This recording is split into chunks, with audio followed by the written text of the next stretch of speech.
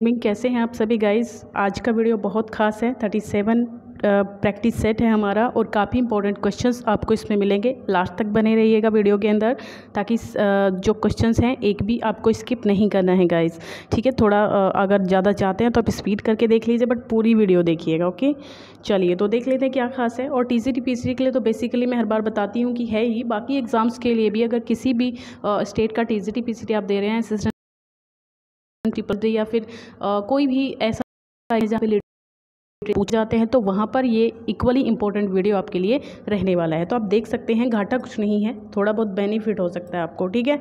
तो चलिए देख लेते हैं क्या खास है इसमें और क्वेश्चन जो है वो इम्पोर्टेंट है हर वीडियो की तरह। पहला क्वेश्चन है और सबसे पहले लाइक और शेयर ज़रूर करना है आपको और प्लीज़ एक सब्सक्राइब ज़रूर कर दीजिएगा अगर आप पहली बार मेरे चैनल पे विज़िट कर रहे हैं ठीक है? तो Arabella Donn is a character in तो ये अरेबेला डॉन नाम का जो करेक्टर है, ये आपको किसमें मिलता है और किसका नॉवल है ये? ये सारे नॉवल हैं, इनमें से किसमें आपको ये मिलता है और ये नॉवल जो है वो किसका है? तो कई यहाँ बात करते हैं हम लोग जूड द ऑब्सकर ठीक है? जूड द ऑब्सकर यानी कि ऑप्शन जो सी है हमारे पास जूड द ऑब्सकर जो कि आया था आपका नाइनटीन नाइन्टी फाइव में आया था ये तो इसी का जो है ये कैरेक्टर है। सॉरी नाइनटीन कह रही हूँ मैं। सॉरी गाइस हाँ? नाइनटी कहाँ से आ गया? एटीन। थॉमस हार्डी का टाइम स्पेन ही पहली बार तो 1840 से लेकर के कहाँ तक है?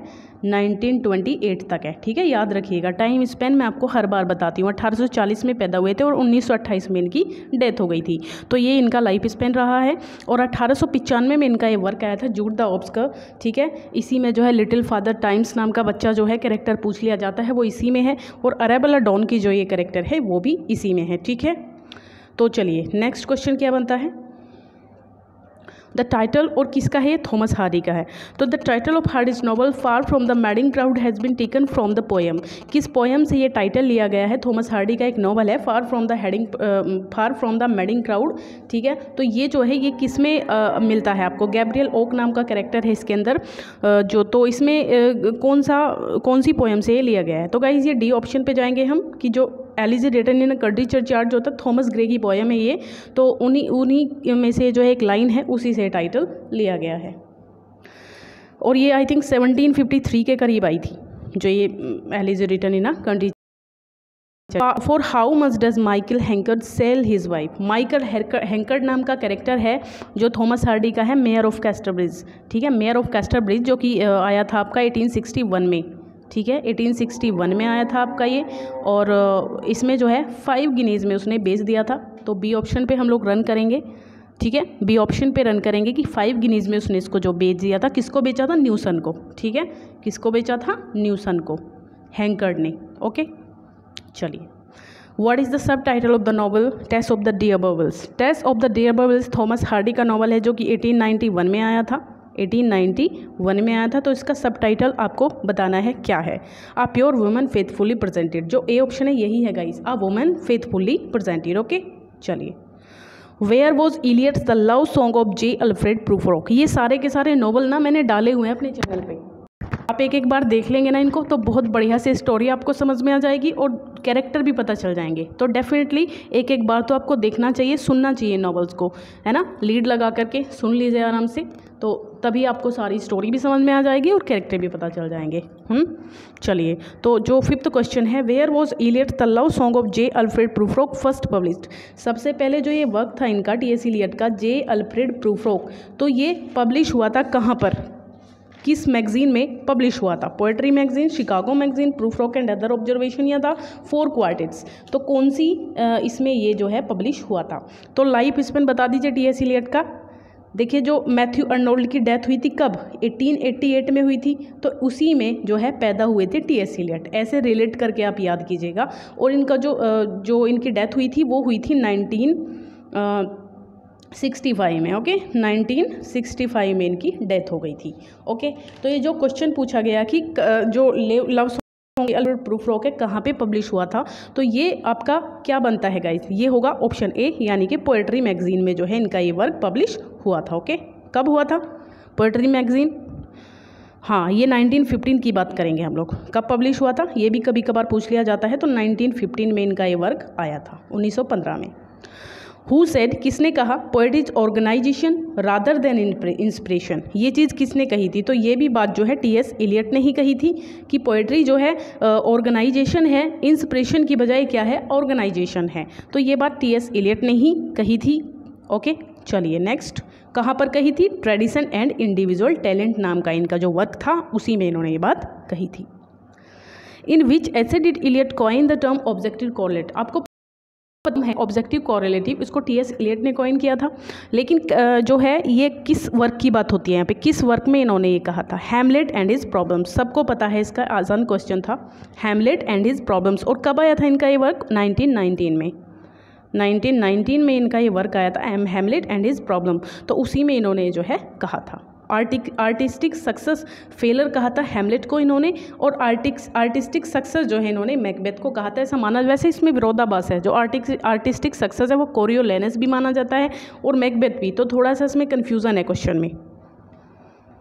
Poetry is not a turning loose of emotion but an escape from emotions it is not the expression of personality but an escape from personality तो ये जो बात कही है, ये किसने कही है? तो ये भी गाइज़ टी एस इलेट ने ही कही है।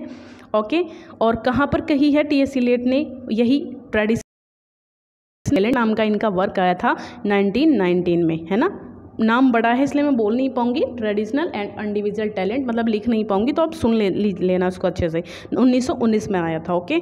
चलिए next the the reading of eunuchs in vacant ecstasy in the dance of eunuchs alludes to their तो क्या इसका आंसर होगा? Contentment in life emotional blackness physical agility या फिर जील एंड एंथ्यूजिज्म किस बात का ज़िक्र होता है इसमें? द डांस ऑफ़ यूनक्स में। किस चीज़ का ज़िक्र होता है? किसका है ये वर्क पहले तो ये बताइए। तो ये जो वर्क है गाइज़ ये कमला दास का है है ना? इंपॉर्टेंट वर्क है। ये कमला दास का है। कमला दास का टाइम स्पेंड किया था? उन्नीस सौ चौंतीस से दो हज़ार नौ। ये भी याद रखना है, उन्नीस सौ चौंतीस से 2009 जो था इनका टाइम स्पेंड था। ओके तो इसमें जो बात होती है, वो हो रही है हमारे पास में डांस ऑफ़ द यूनक्स की। तो इसमें किसकी बात होती है, ये आपको बताना है सबसे पहले। तो यहाँ जो आंसर है, इसका बी ऑप्शन होगा एक्सटेजी एंड स्टेरिलिटी ठीक है? ये मैंने एक सेकंड मैं कुछ और बता दिया आपको। हाँ बी ऑप्शन होगा ना गाइस इमोशनल ब्लैकनेस होगा ओके इमोशनल ब्लैकनेस होगा बी ऑप्शन चलिए। What did the eunuchs not sing about as the danced in Kamala Das poem on the on them मतलब वो कौन सा सॉन्ग नहीं गाते हैं? Lovers dying children's left unborn melancholic themes या फिर बेटर टाइम्स टू कम तो कौन सी थीम वो नहीं गाते हैं इसमें डांस ऑफ़ यूनक्स में कमला दास के द्वारा? तो यहाँ जो है बात होती है गाइज़ इसकी uh, तो हमारा आंसर क्या होगा? हाँ तो हम लोग जाएँगे डी ऑप्शन पे यानी कि better times to come okay better times to come बाकी सभी की बात हो रही है। बाकी सभी की बात हो रही है। तो एक सेकंड मैंने एक क्वेश्चन मिस कर दिया क्या बीच में? एल्यूड देयर ओहो। हाँ ब्लैक ये तो हो गया था। अच्छा नेक्स्ट ठीक है ठीक है, कोई बात नहीं गाइस तो इसमें हमारा जो आंसर होगा, वो होगा सी लगा हुआ है, दो बार ए आ गया यहाँ पे बेटर टाइम्स टू कम होगा इसका। Which of the following is not a poem by Kamala Das इनमें से कौन सी पोएम कमला दास के द्वारा नहीं लिखी गई है? द फ्रीक्स बिल्कुल ही नहीं के द्वारा है। माई ग्रैंड फादर्स हाउस भी इन्हीं की है। और जो डी है अ होट नून इन मालाबार ये भी इन्हीं की है। बाकी जो तेजूरी है, ये इनकी नहीं है। तेजूरी जो है, वो कमला दास की नहीं है गाइस इसमें यही इसका आंसर तेजूरी है, किसकी है ये? ये लिखी गई है अरुण कोलेटकर के द्वारा 1976 में, ओके? 1976 में लिखी गई है।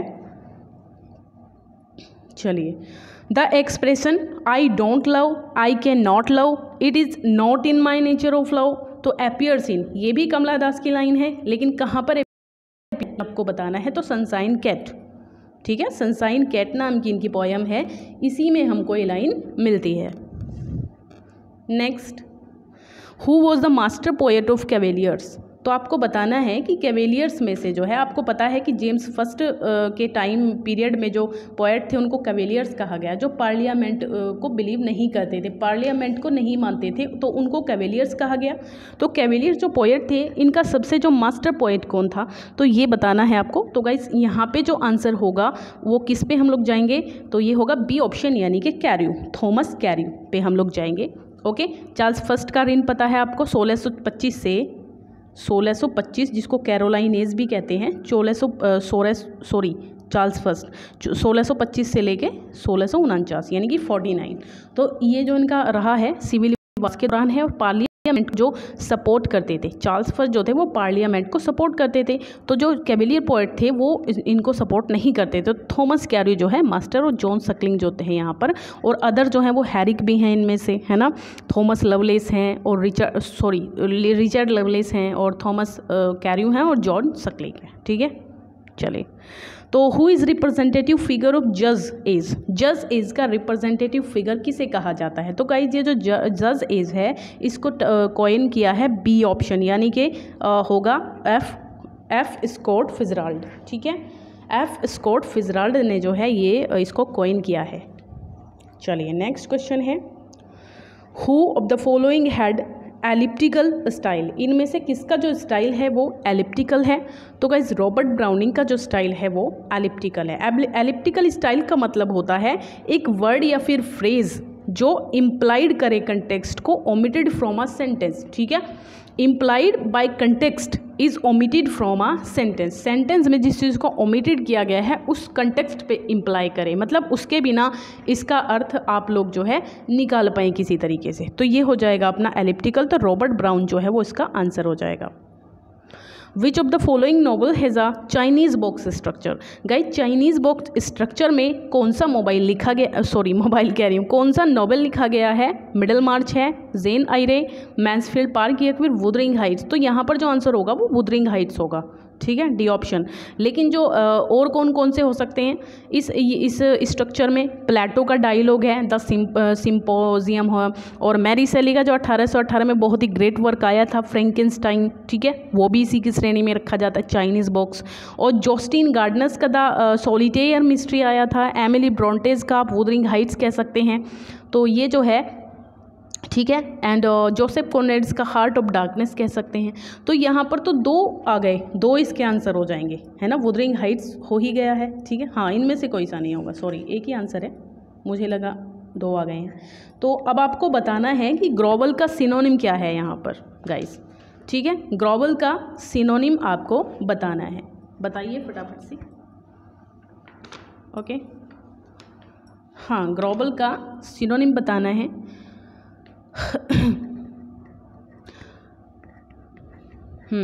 तो ये हो जाएगा बी यानी कि कॉवर, ठीक है? कॉवर हो जाएगा। और इसका ग्रोवल का मतलब क्या होता है? इसका मतलब होता है टू हम्बल वन सेल्फ और act in an object manner ठीक है? एक ऑब्जेक्ट मैनर की तरह, एक अपने आप को हम्बल एक्ट करना, ठीक है? हम्बल एक्ट करना, लेकिन मतलब एक तरीके से किसी की डर की वजह से है ना? मतलब हमें रिज़ल्ट ख़राब ना जाए या कुछ कि मतलब परिणाम की की, के डर की वजह से जो हम हम्बल करते हैं। जैसे बड़ों के सामने हम ऊँची आवाज़ में बात नहीं करते, क्योंकि पता है कि थप्पड़ लग सकता है है ना? तो वो होता है क्या?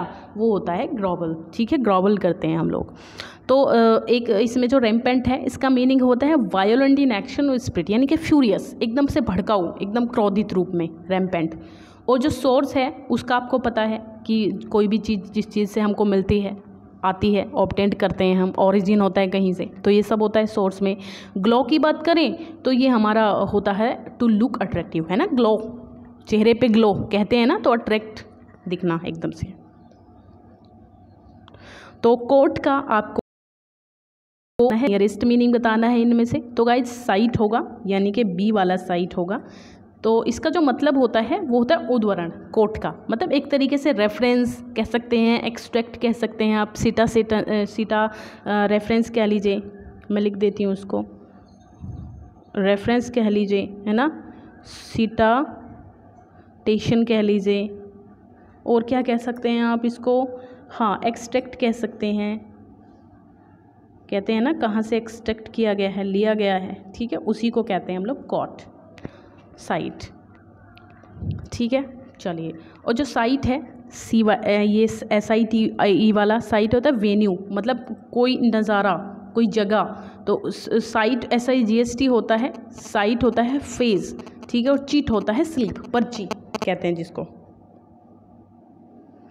एक्यूज़ का आपको यहाँ पर बताना है सिनोनिम एक्यूज़ का सिनोनिम तो एक्यूज़ क्या होता है बाई गाइज़ एक्यूज़ का मतलब होता है भाई टू प्रोटेक्ट समवन और समथिंग अगेंस्ट अटैक और क्रिटिसिज्म है ना? एक्यूज़ तो एक्यूज़ मीन्स होगा मतलब किसी पे चार्ज किया गया है है ना? किसी पे चार्ज किया गया है ए, मतलब किसी ने गलती की है उसके ऊपर जो चार्ज किया गया है तो उसको हम एक्यूज़ कहते हैं ऑफेंस किया है जिसने। तो ये जो ये वर्ड हो गया एलीग एलीग हो जाता है charge and indict are synonyms और ये तो देखिए, एलिक जो है, चार्ज जो है और इंडिक्ट ये सिनोनिम है कि उसके, है ना? तो आंसर जो होगा, वो सी होगा, है ना? यहाँ पर सॉरी ये मैंने गलत कर दिया था गाइस मैंने क्वेश्चन ही गलत कर दिया। इसमें से ना आपको बताना है एक्यूज़ का सिनोनिम कौन सा नहीं है, ठीक है? सिनोनिम कौन सा नहीं है। तो ये जो आपका ये हो गया, जो इंडिक्ट है तो आपका ये चार्ज है, ये तो सारे के साथ डिफेंड बचाना है ना? ये इसका एंटोनिम है, बाकी सारे सिनोनिम है। फ्रेंजी का आपको बताना है क्या? एंटोनिम ठीक है? मैं यहाँ पे भी लिख दे रही हूँ, वरना आप कंफ्यूज हो जाएँगे। तो सिनोनिम इसका आपको एंटोनिम बताना है गाइस सिनोनिम नहीं बताना है राइट तो ये जो देखिए फ्रेंजी का मतलब होता है, एक violent agitation of the mind approaching madness है ना? एक तरीके से मेडनेस तक हम हाजा वो एक तरीके से वायोलेंट हो जाता है। एक पागलपन हमारे दिमाग पे भूत सवार हो जाता है। तो उसको कहते हैं हम फ्रेंजी ठीक है? तो आ, कौन सा होगा इसमें? बी ऑप्शन होगा गाइस यहाँ पर। तो जो गाइल है ये नहीं होगा बल्कि जो सारे के सारे हैं, वो इसके सिनानिम होंगे। रेज भी एक्साइटमेंट भी एंथुजियाज़म भी, सारे सिनानिम हैं। बाकी जो ये गाइल है, इसका मतलब होता है जो क्लेवर तरीके से डिसऑनेस्ट बिहेवियर होता है है ना? ट्रिक के साथ।